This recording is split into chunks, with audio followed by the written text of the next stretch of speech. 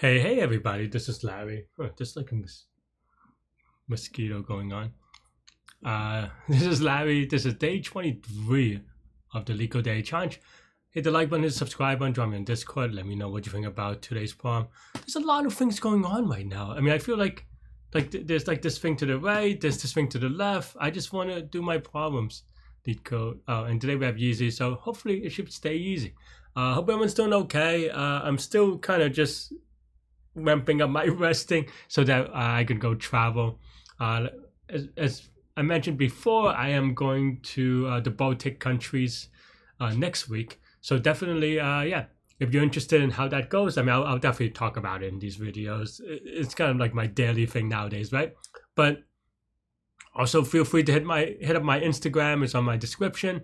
Um, just you know, uh, yeah, hit the like button on that those stuff too. Look, I don't make money from this. I don't intend to make money from this. Maybe that's a little bit dumb. I don't know. But uh, and I don't intend to make money on Instagram either. But it would make me feel good about me getting a new expensive lens. Uh, if you just like some of those photos, then I'll be like, okay, at least someone like enjoy my photos, and I and waste a lot of money on those uh, silly lens. Anyway, let's take a look at today's problem. I mean, it is supposed to be easy, so let's just keep it easy and keep it going fast. And yeah, let's go. We have 1399 count largest group. You're given an integer n. Uh, each number from 1 to n is grouped according to some digits. Earlier, sum of the digits. Return the number of groups that have the largest size. Okay. Uh, I mean, I think this is kind of interesting, right?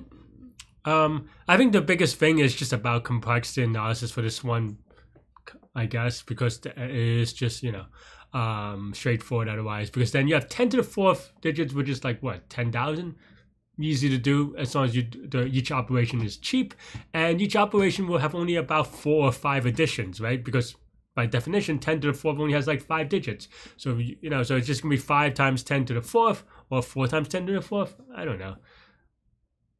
10 to the fourth is what 10,000 yeah I mean four, uh, okay so four digits right? So four digits except for I guess 10,000 exactly right? So yeah. And of course in that case it's going to be n times log n because log base 10 n is going to be the number of digits so it's going to be n log n.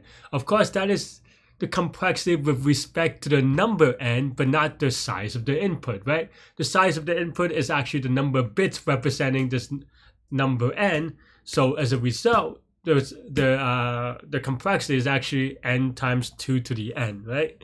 Because we have well log n number. This is gonna be confusing. My apologies because it's gonna be log n number of bits. Uh, yeah, and you have to kind of loop over for each. And the number of bits is kind of like the number of binary digits, right? And for each number of binary digits, um, which you can convert to a 10 base digit without loss of generality due to the big O notation. Um, so for each digit, you do 10 numbers. So that's why how you get the, ten, the exponential, right? It's going to be 10 to the n. And then for each one of those digits, you do uh, n times. So it's going to be n times 10 to the n or 10 times 2 to the n, depending on how you want to play around the basis. Uh, I mean, we just wrap a big O. It's all fine, kind of. Eh, there's some nuance there. I'm not gonna go into it, but yeah. Anyway, this is an easy problem, so let's just actually write the code. Uh, but that's how. Uh, but I would say that's kind of the thought process I would think about this problem and just thinking about it before solving. Because the, writing the code sometimes is the easy part, right? It's not always the easy part, but it is sometimes the easy part, right? So yeah. So you have something like this, and yeah. Um, some of the digits. Okay, yeah. I, I was just double checking that it's not one of the uh, like you you you keep going. You just do it once, right? So here maybe we can write even like f of um I don't know eh, naming things is so f is for frequency. That's why I usually go for that. But yeah, for uh, f of I don't know get some maybe of i right increment by one right? And then now we have max of f dot uh, values. So that's the most, uh, the largest size, right? So m is equal to that. And then, yeah, and then we just do another loop, I suppose, right? So yeah, so uh, return uh, sum of eh, okay let, us i was going to write it in one line and i can do it but uh, maybe it's fine right so here we just return count is equal to zero right for i and f of values or for uh, whatever x and f of values maybe if x is equal to m where m is the max then we increment count and we just return count of course we still have to write this get sum method right uh, and there are a couple of ways to write it. Um, I don't know. We can just write t for total is zero while x is greater than zero. X um, mod 10. So we add that, shift and add, or shift, or the other way around, shift and subtract. And also, uh, this is one. What am I doing? This is x, right? And that's it, right?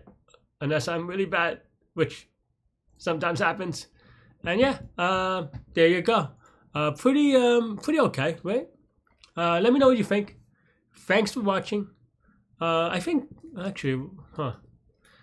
It, it's kind of funny uh, because someone told me that I'm I apparently hit the five year streak, which is definitely true but I just totally forgot about it because also it happens every year at like April Fool's. So I'm always trying to do like an April, Fool's silly thing, so I always forget to mention it. But hey, it takes it took me 23 days into the five years before I realized I had a five year streak. So yay, five year streak. Anyway, that is all I have for this one. Five years is a crazy long time. Uh, but I think all of you are born. So okay. Anyway, that is all I have for this one. Let me know what you think. Thanks for watching. Stay good. Stay healthy to mental health uh, yeah. I'll see y'all later and take care. Bye bye.